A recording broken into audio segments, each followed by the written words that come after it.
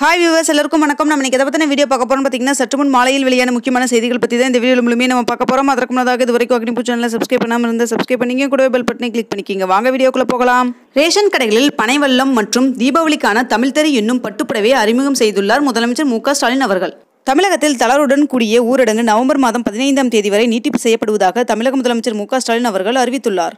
இதனைத் தொடர்ந்து திரையரங்குகளில் நூறு சதவீதம் பார்வையாளர்களுக்கு அனுமதியும் அளிக்கப்பட்டுள்ளது. தமிழகத்தில் பொறியியல் கல்லூரி முதலாம் ஆண்டு மாணவர்களுக்கு அக்டோபர் இருபத்தைந்தாம் தேதி முதல் நேரடி வகுப்புகள் தொடங்கப்படும் என்று அமைச்சர் பொன்முடி அவர்கள் தெரிவித்துள்ளார். இல்லம் தேடி கல்வி திட்டத்தை அடுத்த வாரம் முதலமைச்சர் மு க ஸ்டாலின் அவர்கள் தொடங்கி வைப்பார் என்று பள்ளி கல்வித்துறை அமைச்சர் தெரிவித்துள்ளார். தமிழக அரசு பொதுத்துறை நிறுவனங்களில் பணிபுரியும் ஊழியர்களுக்கு பத்து சதவீதம் தீபாவளி போனஸ் வழங்கப்படும் என்று முதலமைச்சர் மு ஸ்டாலின் அவர்கள் தெரிவித்துள்ளார்.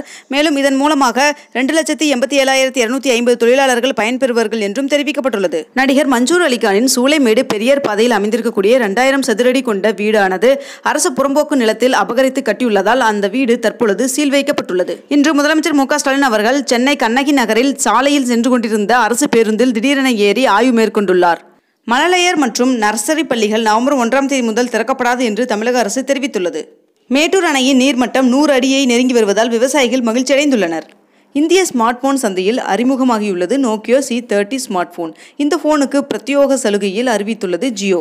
திண்டுக்கல் மாவட்டத்தில் நடப்பாண்டில் நாலாயிரத்தி தொள்ளாயிரத்தி பதினேழு ஹெக்டாரில் நாற்பது கோடி செலவில் சொட்டு நீர் பாசன திட்டம் செயல்படுத்தப்பட உள்ளதாக அம்மாவட்ட ஆட்சியர் தெரிவித்துள்ளார். தமிழகத்தில் ஆறாவது கட்டமாக இன்று ஐம்பதாயிரம் இடங்களில் மெகா தடுப்பூசி முகாம் நடைபெற உள்ளது. இதில் சென்னையில் ஆயிரத்தி அறுநூறு மையங்களில் தடுப்பூசி செலுத்தப்படுகிறது. ஊரக உள்ளாட்சி தேர்தல் நடைபெற்ற ஒன்பது மாவட்டங்களில் மாவட்ட சேர்மேன் பதவியை திமுக கைப்பற்றியுள்ளது. இருபத்தி ரெண்டு கேரட் ஆவண தங்கத்தின் விலை ஒரு சவரன் முப்பத்தி ஆறாயிரத்தி நூற்றி இருபது ரூபாய்க்கு விற்பனையாகிறது. அதேபோல் ஒரு கிராம் வெள்ளியின் விலை அறுபத்தி ஒன்பது ரூபாய் தொண்ணூறு பைசாவாகவும் விற்பனை செய்யப்பட்டு வருகிறது. இந்த வீடியோ உங்களுக்கு பிடிச்சிருக்கும் நினைக்கிற மேலும் பயனுள்ளதாக இருந்திருக்கும். பிடிச்சிருந்தா லைக் பண்ணுங்க ஷேர் பண்ணுங்க. மேலும் இது போன்ற தகவல்களை உடனுக்குடன் தெரிந்து கொள்ள அக்னிபூ சேனல் மறக்காம சப்ஸ்கிரைப் பண்ணிக்க கூட பெல் பட்டனை கிளிக் பண்ணிக்கிங்க. ஓகே வியூவர்ஸ் நெக்ஸ்ட் வீடியோவில் பார்க்கலாம்.